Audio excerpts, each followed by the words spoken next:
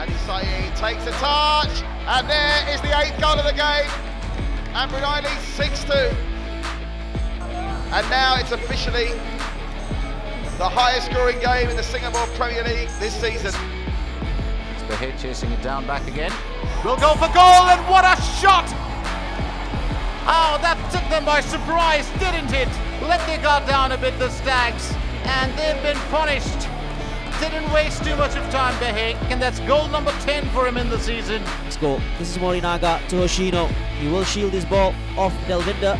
And this is good play. Look at this. Brilliant play. He plays in for Taku. Oh, this is absolutely brilliant. Absolutely brilliant goal from Shuhei Hoshino for his 15th goal of the season. Waiting to take the shot away. That's great from Izzdin. Brilliant finish from Izzdin Shafiq.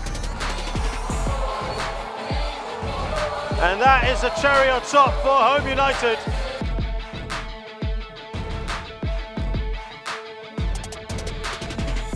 Shahril getting close, and that could be the first goal, and yes, it is!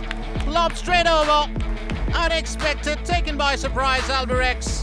And Nizawa had no reply to that, so it's 1 0. That switch has certainly worked. Yamanaka can run Yamanaka. Beautifully played, 2 0.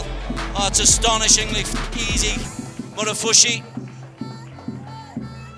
That's his sixth goal of the season. And Yamanaka was unselfish to pass on to Murofushi. Will he square it or will he go for goal? It's unselfish from Fazrul. Surely Yasir makes it two for himself and two for Tampines on the night.